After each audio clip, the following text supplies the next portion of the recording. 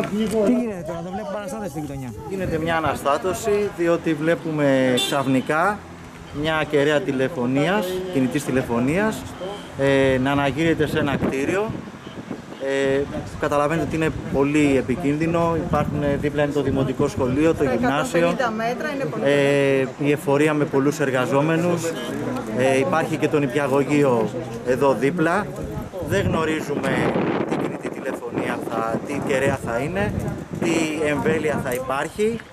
Ε, και γνωρίζουμε ότι σίγουρα θα είναι βλαβερή για όλους εμάς εδώ πέρα γύρω. Θέλουμε να ενημερωθούμε, να ενημερωθούμε για το τι πρόκειται να γίνει. Έχουν έρθει κάποιοι εργάτες εδώ πέρα, δεν ξέρουμε τι συνεργείο είναι, ποιοι είναι, τι ακριβώς κάνουν σήμερα.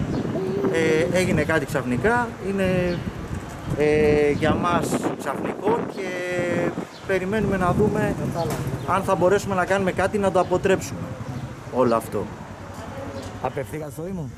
Ε, αυτό τώρα, επειδή εγώ α- τώρα ήρθα, έχει ενημερωθεί ο Δήμαρχος. Περιμένουμε και από τις υπηρεσίες, ε, από κάποιον ε, αρμόδιο να μας ενημερώσει. Καταρχήν αν είναι νόμιμο σαν ε, υπάρχει μια άδεια Αν έχει την άδεια. ανέγερσης.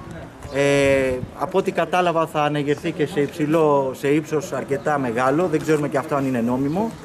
Ε, να μας δώσουν τις μετρήσεις ε, ως προς τα ηλεκτρομαγνητικά κύματα, αν επηρεάζει όλη εδώ πέρα την ε, περιοχή ε, και νομίζω ότι ούτως ή άλλως είναι βλαβερό, ξέρουμε και ανάλογες περιπτώσεις όπου στην αρχή ε, υπήρχαν χαμόγελα από αυτούς που θα καρποθούν κάποια ενίκια αλλά μετά οι ίδιοι ε, με τα κατσαβίδια τους ξυλώνανε τις ίδιες κεραίες. Ελπίζουμε το ίδιο να γίνει ε, και σε αυτή την περίπτωση.